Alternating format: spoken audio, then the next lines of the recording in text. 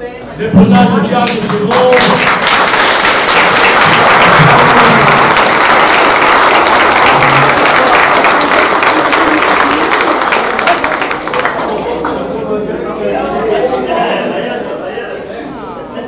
Uma salva de palmas para todos.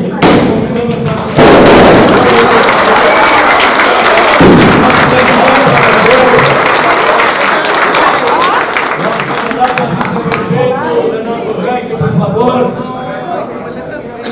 Tenha coragem de se aqui, da